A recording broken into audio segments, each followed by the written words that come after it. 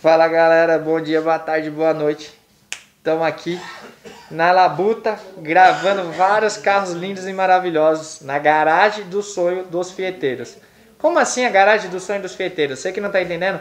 Corre nos vídeos anteriores para vocês entenderem aí a garagem dos sonhos aí do que o Márcio tem aqui de fazer inveja para qualquer fieteiro.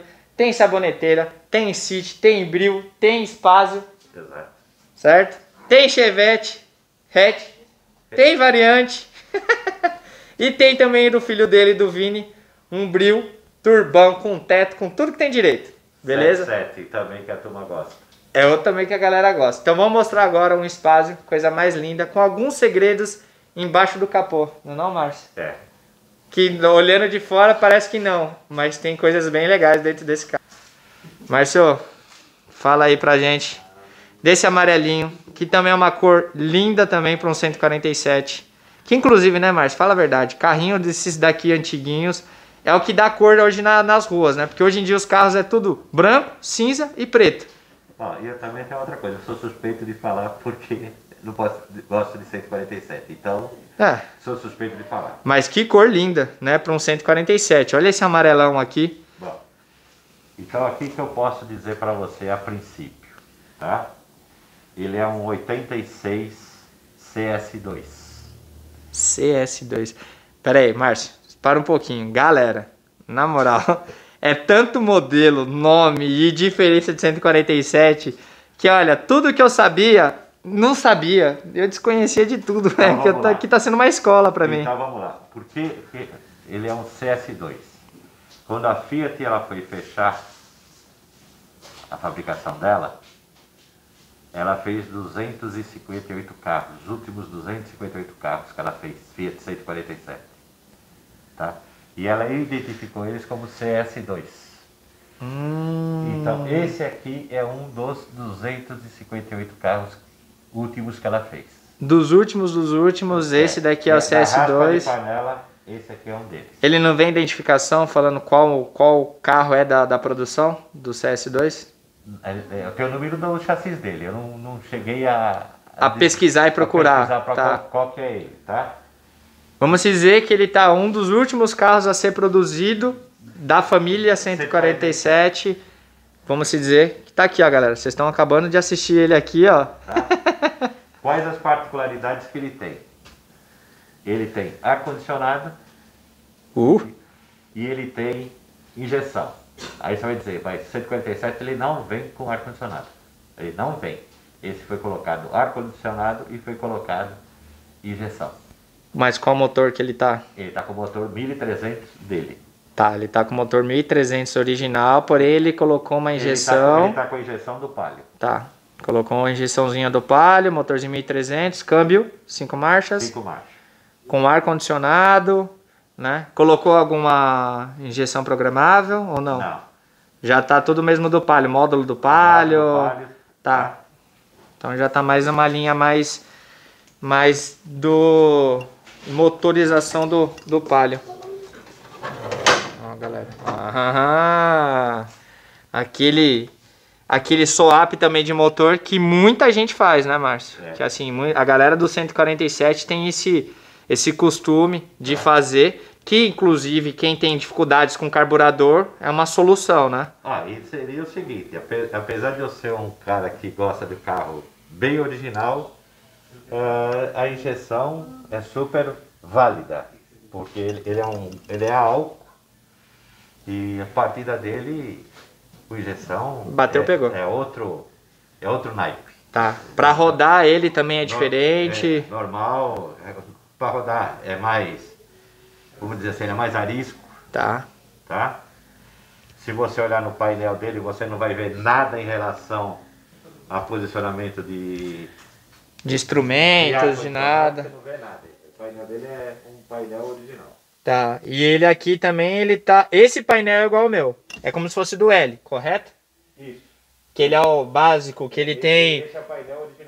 É, que aí ele tem o marcador de água, bateria e óleo. E se um desses três ligar, deu ruim. Para. Deu ruim. Para na hora. Se a Para na luz. hora, senão- É, se uma dessas luzes aqui ligar, para, porque ele não tem o, o, o marcador como se fosse da água dos outros, Exatamente. que ele vai subindo, né? Exatamente. E o painelzinho dele também todo clean, né? Todo original. Ele tem um ar-condicionado, como o Márcio está falando, porém ele não aparece em nenhum lugar aqui.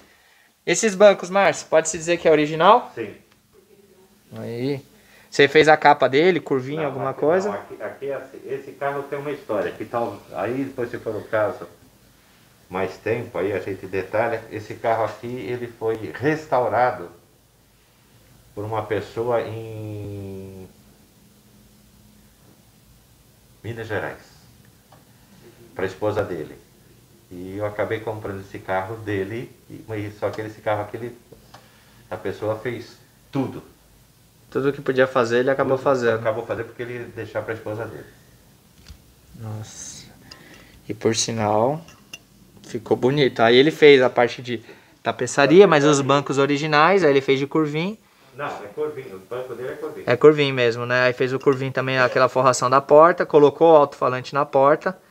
Né? Pra mim é um, é um suicídio. É, coisas que nós estávamos discutindo nos vídeos anteriores. Você que não está entendendo, corre lá nos vídeos anteriores que a gente estava dando uma certa opinião desses altos-falantes na porta, né? É, e aí é o bancozinho dianteiro, que é praticamente é igual desse outro aqui, pode-se dizer que é desse bril? Só que é, ele é de curvinho? É curvinho e não é... Tecido, né? Se você for ver, esse daqui, curvinho. E esse daqui, tecido. tecido né? Mas você vê que o encosto de cabeça, o tamanho, são todos meio que um, que um padrão. E tem também esse encosto aqui que ele é reto, né? Que aí seria os mais antigos, né? Que aí ele é aquele que não tem encosto de cabeça, nada, ah, aquele... É, porque na verdade, até onde eu sei, pode estar falando besteira, tá? O banco do 147 normal, ele é desse tamanho aí. Se for o banco da Rally, que é o banco mais alto. Do... tá. Tá? Então aquele banco... Que seria o Procar que o pessoal é tipo, fala? Tipo Procar e tal, porque o originalzinho dele é tudo baixo. É, porque o, o, meu banco do Hot Wheels, o pessoal fala que é da Procar, é modelo Procar, Sim. porque ele é mais alto. é mais alto, tá? Que, é, que era uma imitação, vamos dizer, do, do banco do Rally, do banco, né? Tá. E aí, que você falou do ar-condicionado. Onde que tá o ar-condicionado aqui, né? Que aí vem a... Compressor, radiador, Certo. Tá. Vem na frente do próprio radiador. É, ele tá aqui. O radiador dele tá aqui. O, radiador. o compressor tá aqui. Aí tem ó, os canos, encanamento. Sim. Tá? E aí lá dentro eles... Ele liga no, no botão do desembaçador. Botão do desembaçador. E ele sai nos bocais... Nos, nos bocais normais dele aqui. Tá, esses dois bocais mesmo normais dele Exatamente. do próprio Fiat, original, é. fez a tubulação para sair no original. Exatamente. Tá. E aí ele não tem medida de, de temperatura. Não. Ligou, congelou ou desligou? Desliga. Então, resumindo, esse ar condicionado aqui para esse carro, que nos nossos é utilizado, nesse daqui ele é fechado, porque ele tem um ar condicionado. Ele abre. Ele, não, ele abre também, mas não tem necessidade Sim. se você tem um ar condicionado. Olha que chique. Então, ó, motorzinho 1300 injetado com toda a configuração do Palio, certo? Da injeção do Palio. Não tem módulo de programável, não. injeção, nada. E tá com ar condicionado também, do, creio eu, que do próprio do, Palio. Do Palio. Então, então, é uma dúvida que a turma pergunta, é que se, se dá para te colocar a injeção do Palio no motorzinho do 147. Aqui tá uma, tá uma amostra que pode. É, tá vendo? Tá uma amostra aqui que realmente dá para fazer. Motorzinho 1300 com injeção do Palio, tá? Então você que tem alguma dúvida, deixa lá no comentário, que aí a gente vai conversando com o Márcio e o Márcio vai respondendo, a gente vai conversando, trocando uma ideia e tirando a dúvida de vocês aí, caso vocês tenham alguma algo a perguntar de como fazer ou não fazer. Ele na possível, né, Márcio? É, porque quem colocou, na verdade, não fui eu. Foi o antigo dono do carro. É, então, por isso que eu tô falando. Desde, se possível, desde, você puder ajudar. Se puder ajudar, né? A gente vai tirando a dúvida. E também, se não tem o, o Márcio para responder, a gente tem o Gordo, que é o Coelho Garage, que creio que ele pode também ajudar, dar uma luz aí. E quem souber também, ir ajudando um ao outro, também é legal. Galera, vou mostrar esse carro aqui, que ele é um, um Spazio. Então, o Spazio, como a gente estava conversando, ele tem essa lanterninha inteira laranja, né? Diferente do Europa. A traseira, a lanterna traseira desse carro eu vou lá, vou lá, Márcio. Pode ficar aí. Essa lanterna traseira, eu particularmente acho uma graça no Fiat 147. Ah, mas como assim, Carlinhos? Eu vou mostrar aqui pra vocês. Pera aí. Vocês, vocês vão entender o que eu tô falando. Calma aí, calma aí, calma aí. Por que, que eu falo que é uma graça? Deixa eu tampar aqui metade da placa, né? Pra não aparecer. Por causa disso, galera. A placa do Spazio, ela é inteiriça. Eu acho essa lanterna por 147 a coisa mais linda, cara. Eu acho uma graça essa lanterna por 147. Então, ó, galera, vocês verem uma lanterna assim, inteira, ou realmente, não sei se tem como adaptar, creio que sim. Porém, provavelmente seja um espaço. Então, uma das diferenças para vocês saberem qual modelo do carro é isso, ó. Lanterna traseira inteiriça, espaço, tá, galera? Então, ó, inclusive, placa preta também esse carro, viu, galera? Roda do, do estilo, né? É isso? Estilo Aro 14. Do estilo Aro 14. Ah, tá vendo? Não tô, tô tão, tão leigo assim, não. Tô começando a entender tá.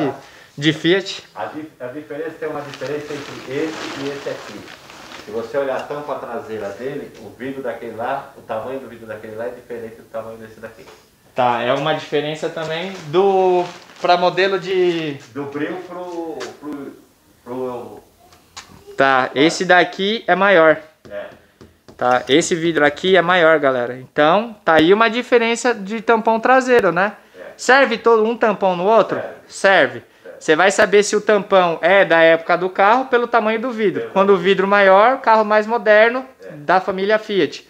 Quando os vidros menores, já pegaria da linha do Bril para trás, que é o caso do Hot Wheels, do Snoopy aqui, que é do, do Vini, ou desse Bril lindo aqui, que a gente acabou de gravar, que inclusive está à venda. Corre lá, que tem um vídeo dele.